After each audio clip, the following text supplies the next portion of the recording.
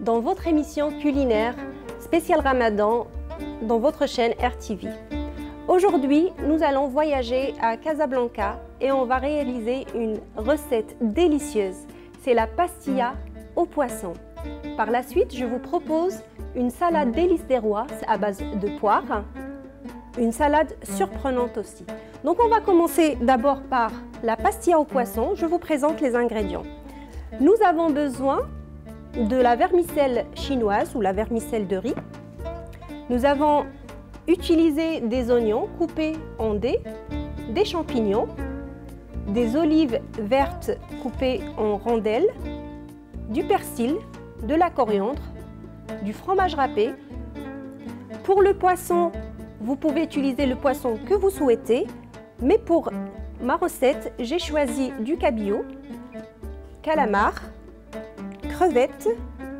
On va avoir besoin également de l'ail, de la tomate concentrée, du sel, du poivre, du citron, du beurre et on va avoir également besoin de d'un œuf pour, euh, pour coller nos feuilles de briques. Donc on commence la préparation de la recette. Je vais allumer le feu. J'utilise un wok pour, euh, pour cette recette, mais vous pouvez mettre ça directement dans une poêle ou une marmite. Je vais commencer d'abord par les, les oignons. Je vais verser l'équivalent de 2 cuillères à soupe d'huile d'olive.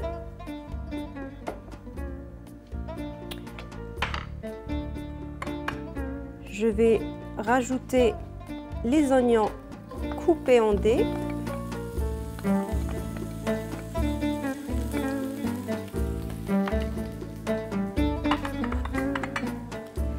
Par la suite, je, je rajoute de l'ail. Je vais commencer à l'écraser.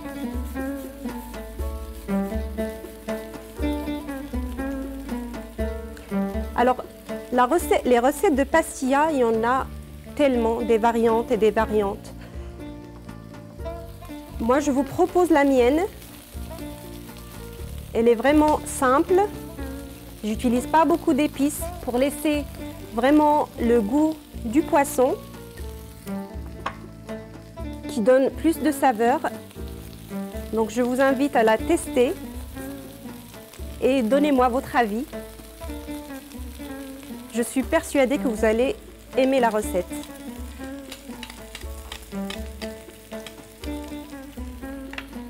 Voilà, je vais commencer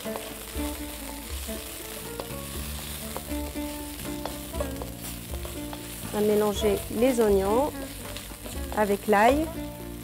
Je rajoute le sel. Je prends l'équivalent d'une cuillère à café. Là, j'utilise une cuillère à soupe, mais je ne l'ai pas bien remplie. Je vais rajouter du poivre également.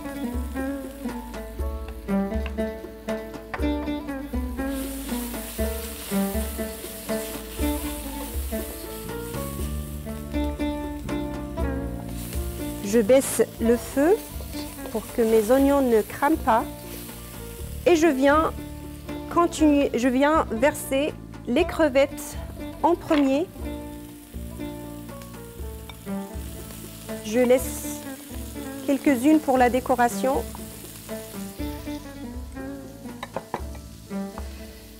Je vais prendre mon poisson que je vais découper en petits morceaux.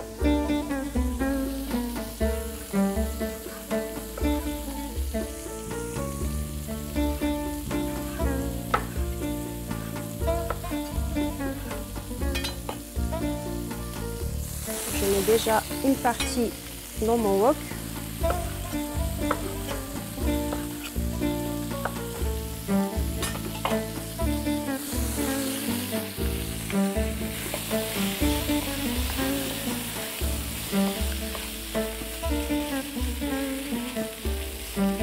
Je vais rajouter mes calamars. Pareil, je vais d'abord les couper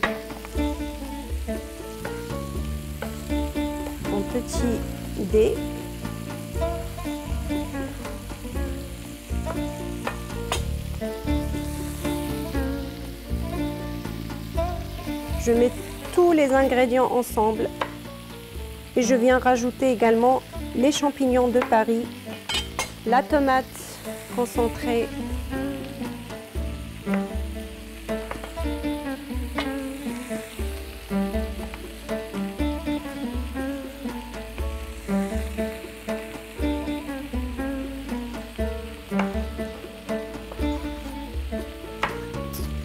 rajouter des noix de Saint-Jacques, des moules si vous aimez. Vous, vous mettez vraiment là les poissons que vous adorez, que, que vous aimez. Moi, je me suis contentée déjà des trois sortes d'ingrédients. Donc, je rajoute les champignons de Paris. Vous pouvez mettre à la place des champignons noirs.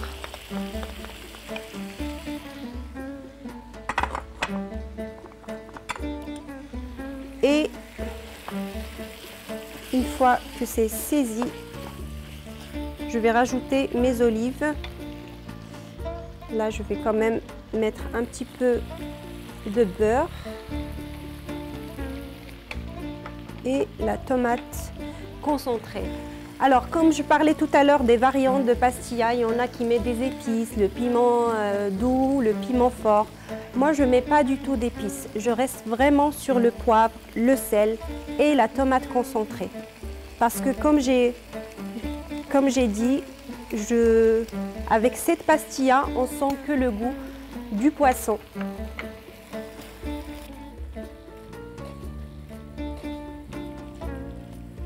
Voilà, les tomates vont donner un peu de la couleur, mais ils vont aussi donner un goût acidulé sans vraiment déformer le goût du poisson.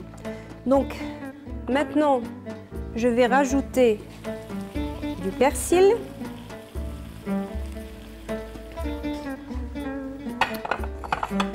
De la coriandre.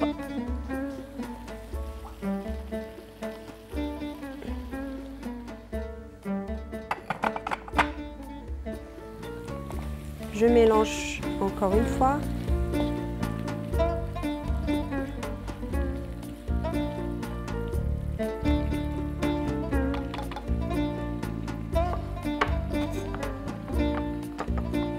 Je vais rajouter un petit peu d'eau.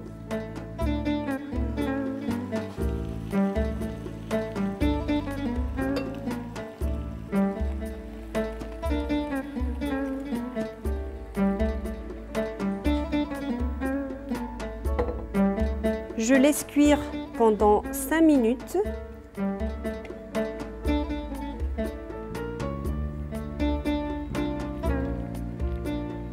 Et par la suite, je rajoute des olives vertes, de la vermicelle chinoise, que d'ailleurs je vais commencer à, à, couper avec un ciseau. Là, je l'ai déjà trempé dans l'eau chaude. Il est comme ça. Et maintenant, je vais venir couper tout simplement avec l'aide d'un ciseau.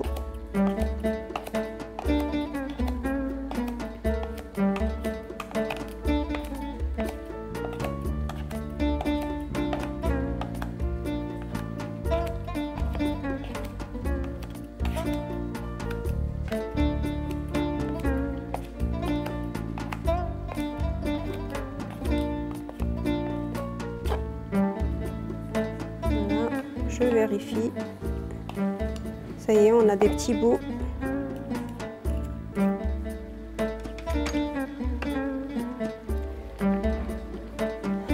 Je vais mélanger.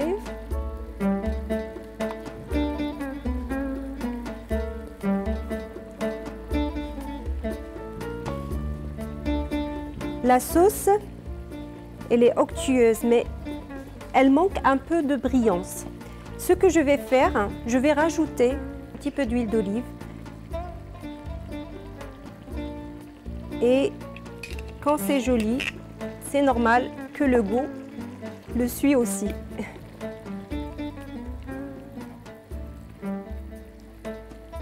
Donc maintenant, je vais rajouter ma vermicelle.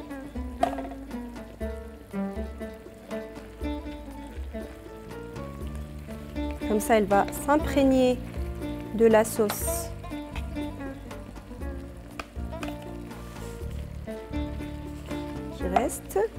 De la sauce de notre plat.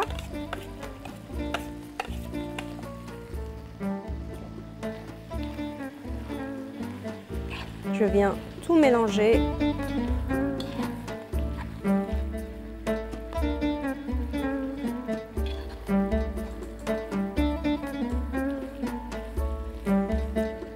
Maintenant, je vais rajouter des olives.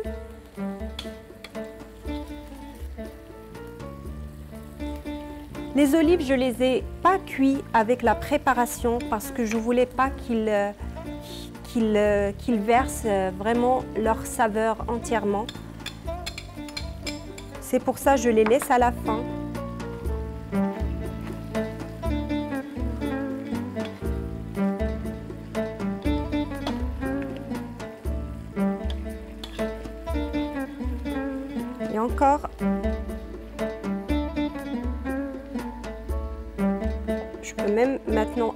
Le feu et rajouter du fromage.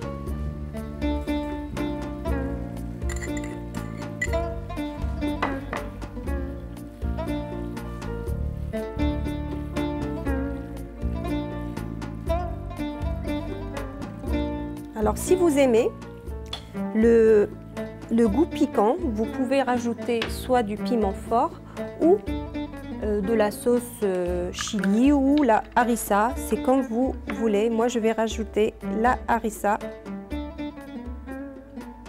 pour relever le goût.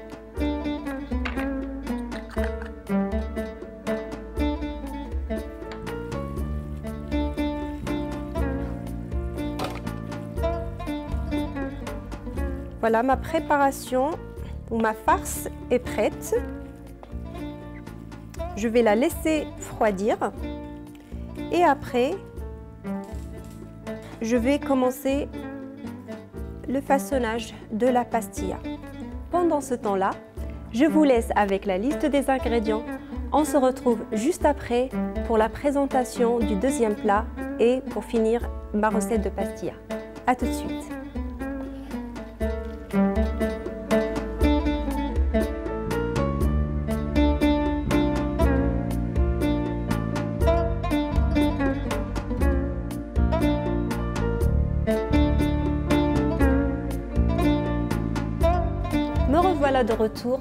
On va finir notre recette, la pastilla.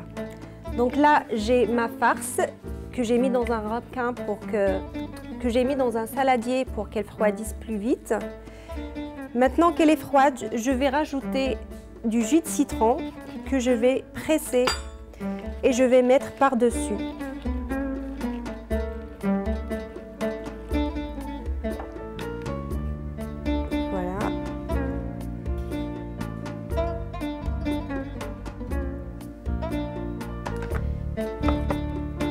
Maintenant, je vais commencer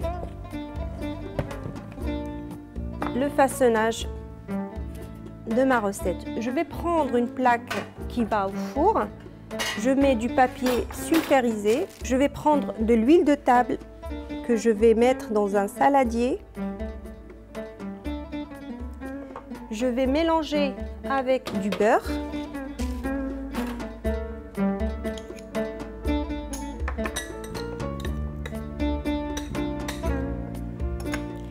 Je vais venir mettre de l'huile sur la feuille sulfurisée. Comme ça, les, les feuilles de, de briques, ils vont cuire avec de l'huile. Je vais maintenant prendre feuilles de briques que je viens poser sur ma plaque. Je mets de l'huile et du beurre sur ma feuille avec un pinceau comme ça. Et je viens mettre une autre feuille à côté d'une... Je vais les chevaucher.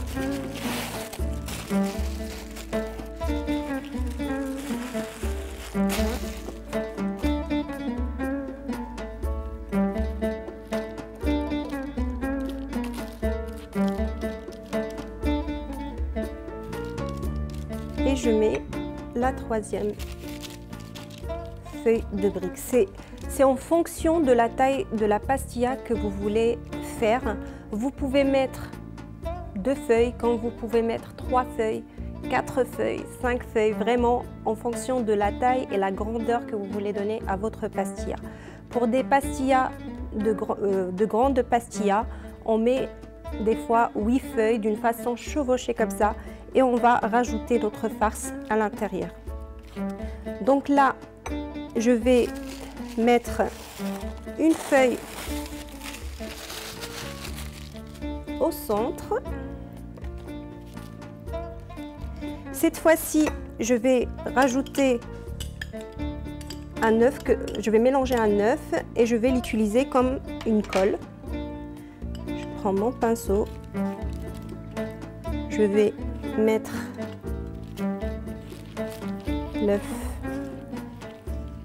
au centre et je viens poser une autre feuille par-dessus. Je n'hésite pas à rajouter du beurre et des œufs pour coller la feuille. Donc cette feuille que je mis au centre, c'est pour, euh, pour que la, la partie basse soit plus solide. Donc là, je vais prendre ma farce que je viens poser sur ma feuille.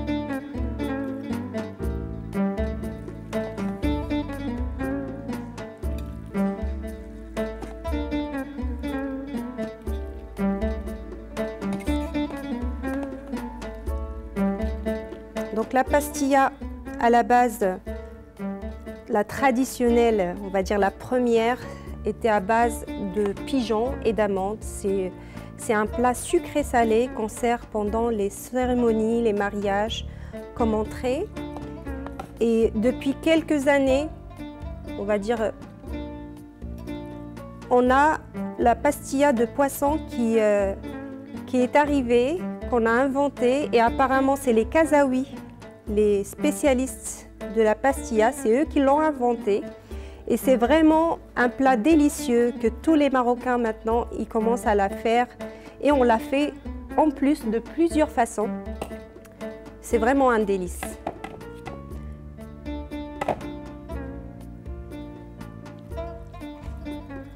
Voilà, donc une pastilla bien garnie.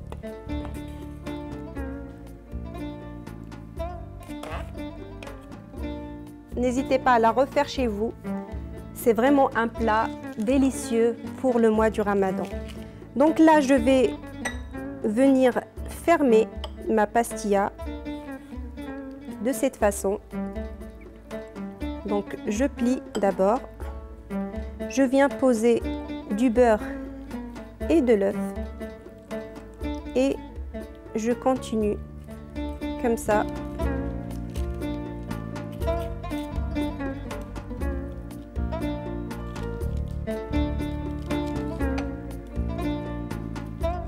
Le beurre, c'est pour que la feuille de brique dort plus vite parce que la farce, elle est déjà cuite.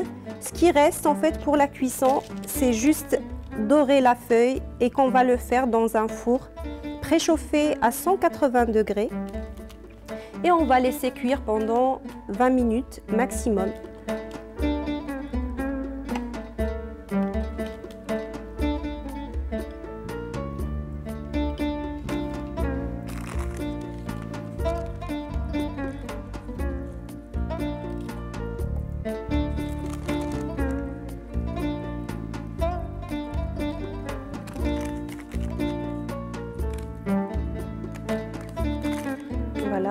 Grave s'il y a quelque chose qui dépasse, on va venir utiliser d'autres feuilles par la suite pour fermer la partie haute.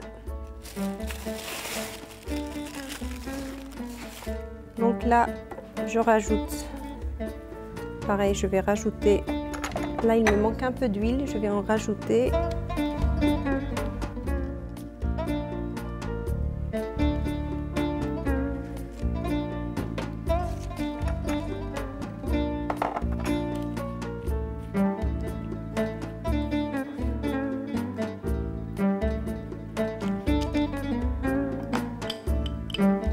Cette feuille, je vais la mettre au-dessus.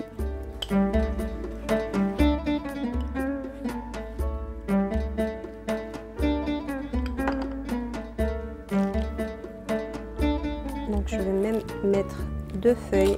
Donc là, je finis cette partie-là qui n'était pas bien fermée. Je viens la renforcer avec cette feuille de cette façon. Et la dernière, on peut même mettre trois de la même façon, de la, comme la première partie. Et on va finaliser tout ça de cette façon-là. Je vais continuer à mettre mes trois feuilles de la même façon au-dessus. Je rajoute de l'œuf.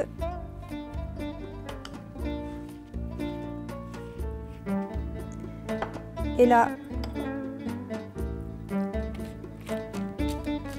je vais rajouter, je vais finir en fait, continuer la, à tourner et, bien envelopper ma farce. Et maintenant, je vais la mettre au four. Elle est presque prête. J'hésite pas à donner une forme ronde parfaite.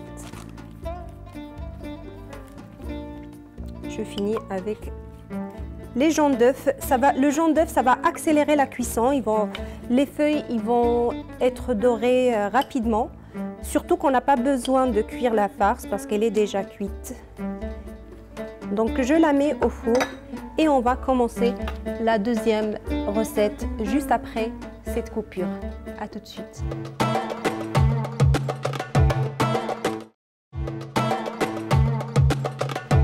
Me revoilà chers téléspectateurs. Je vais maintenant préparer la deuxième recette avec vous, c'est la salade délice des rois. Donc pour les ingrédients, nous avons besoin d'une salade verte. Vous choisissez ce que vous voulez. Moi, j'ai choisi de la mâche parce que j'aime beaucoup ça. On va avoir besoin des poires coupées en petits dés, épluchés et coupés. On va avoir besoin également du fromage de brebis ou fromage feta, du jus d'orange, des dattes coupées en dés, des figues coupées en dés et des noix. Pour la vinaigrette, on va avoir besoin du sel, du poivre, du miel et de l'huile d'olive. Donc, je commence. C'est une salade très savoureuse, mais c'est vraiment un jeu d'enfant. Vous, la faites chez vous, vous allez vous régaler. Donc, vous choisissez soit la roquette, salade que vous voulez. Franchement, ce que vous préférez, les poires, ça se marie avec tout type de salade. Donc, je mets mes poires, je rajoute du fromage feta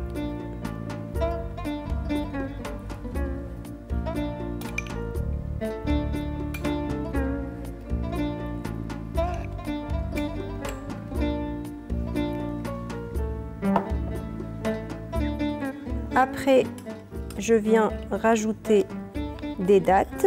Si vous si vous n'avez pas des dates, mais ça m'étonnerait puisque c'est la période du ramadan, vous pouvez, ou si vous n'aimez pas les dates, à ce moment-là, vous pouvez remplacer par un autre euh, fruit sec, des raisins secs ou ce que vous aimez. et vous rajoutez des figues.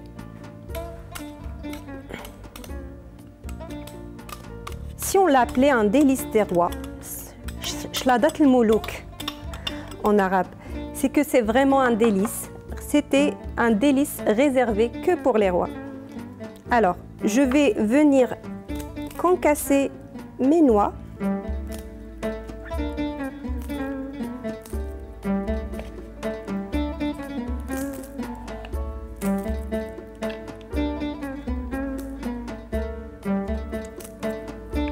Allez la goûter et vous allez voir. C'est très délicieux. Et on va pas se priver d'être un roi en dégustant ce plat.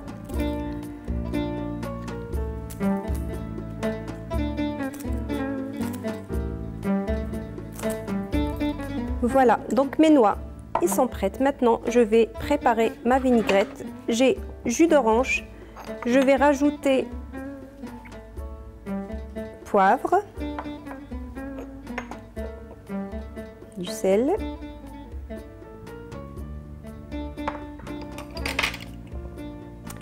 du miel.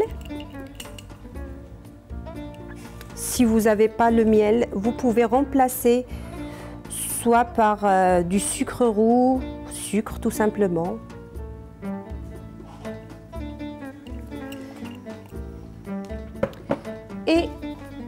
Fin, oups, à la fin,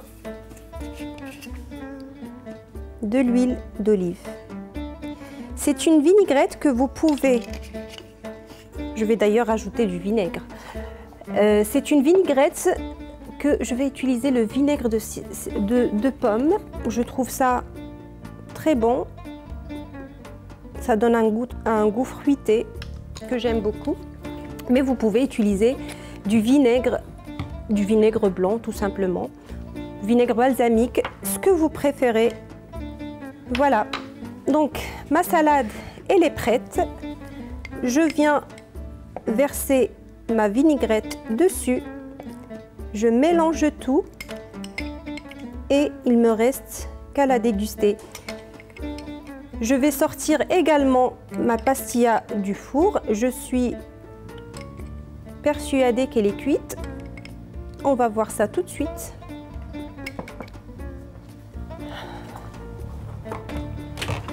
C'est vrai. Elle est belle bien dorée. Je vais vous la montrer. Elle est super jolie, bien dorée. Voilà. Je vais maintenant vous laisser avec la liste des ingrédients de la salade. On se retrouve juste après pour la présentation finale des deux plats. A tout de suite.